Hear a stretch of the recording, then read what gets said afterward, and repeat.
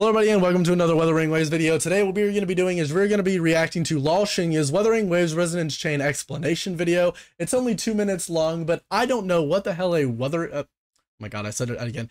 Uh, a resonance chain is. So if I don't know it, and I'm like the smartest guy of all time on the entire planet, then obviously you guys don't know it, right? So um, we're going to be reacting to it. I'm going to be learning. You're going to be learning. It's going to be great. And you know what else you should learn about? I'm going to tell you. Uh, go over, uh, go in the description of this video, click the link to my Twitch channel, uh, twitch.tv forward slash aquious gacha. And once you're there, click the subscribe button.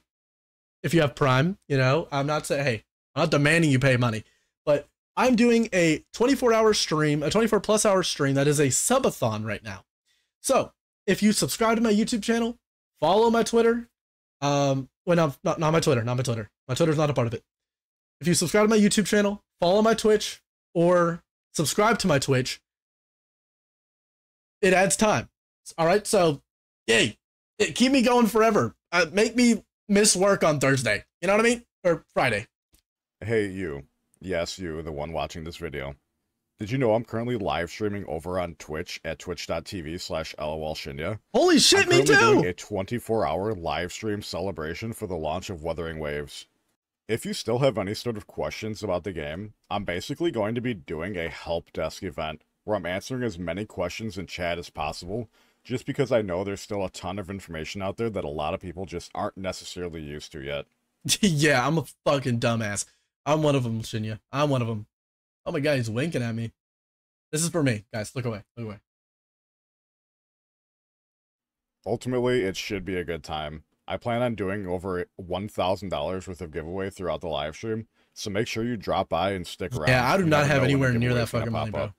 All right, let's get into to it. Just throw away like that. All right, so what exactly are? Not that it would be throwing away. I I would love to fucking give back to my community and everything like that. I just don't have the money to right now. Inch chains. Well, if you're familiar with Genshin Impact, they're like constellations, and if you're familiar with Honkai Star Rail, it's like Eidolons. Okay. Once you receive a duplicate of a character, up to six, you will receive what's called their wave band. Okay, well I know what that is. How you actually unlock the resonance chain from their character page. You could also receive wave bands from buying them from the Afterglow Coral Shop, which is the currency that you get by pulling duplicates of items you receive in the game. Or yeah. Okay. So you guys know how there's a Starlight Exchange in Honkai Star Rail where whenever you're doing pulls, whenever you get uh four stars, you have dupes or five stars or whatever, uh, anything like that, you get a little bit of that currency. You and you can spend that on sometimes there are eidolons for four star characters in Honkai Star Rail, usually two at a time. Um that is exactly how it is in Wuthering Waves, except you can get eidolons for five star characters. It is insane, and it is so free to play friendly, bro. Like, eventually, over over playing a lot of the game and doing a lot of the pulls, you are going to do you are going to get enough of this currency eventually, right? And with that being said, at some point, you know, even if you're not spending hard, right, you are going to be able to buy eidolons for characters that you really enjoy. And these are not just the characters that are like on the standard banner. You can buy copies of Yinlin, like limited banner characters you can just straight up buy the Eidolons for once you get enough of this currency. It's crazy. Okay, it's crazy. Or character, and it's so nice, man. I don't Unlike know, like Star Rail or Genshin, where some of the constellations would simply just give you an increased level on your abilities. Wuthering Waves takes the exact opposite path and directly buffs or changes your abilities or ultimates. See, uh, well, well, Honkai Star Rail does that too. But yes, Eidolon 3 and 5 are just, for every character, are just additional levels for your traces. Like, it is all, it is so minuscule, it is so nothing. But it looks like, I mean, he's looking through all of the Eidolons. It looks like there's one, two, three, four, there five or six? I think there should be one in between there. Six six, just like in Honkai Star Rail, but all of them are actually doing an effect.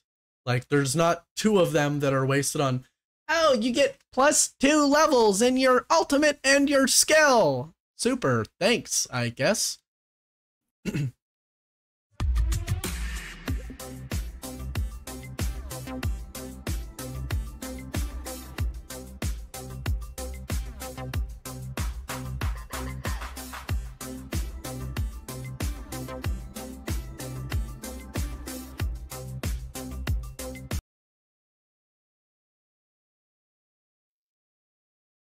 Oh, this motherfucker. Thank you all for watching. Check out Lol Shinya on YouTube. Check out his Twitch. Come to my Twitch. Make me make me do the subathon longer. I beg you. All right, subscribe to the channel, like the video, comment what you're excited for about um eh, eh, comment whether or not you learned something new like I just did. Cuz technically I didn't learn anything new. Um I just didn't know what the hell resonance chain terms was. I I only knew like eidolons and I knew uh superimpose. I don't know I didn't know the term resonance chain. Holy shit, I feel like a fucking dumbass now, bro. But it is really cool that something I did learn is that, you know, all of the eidolons actually do something different and cool and unique and it's not just levels for your abilities. That I did learn. That I did learn. So comment below if you learned anything, and I'll see you in the next video. Peace.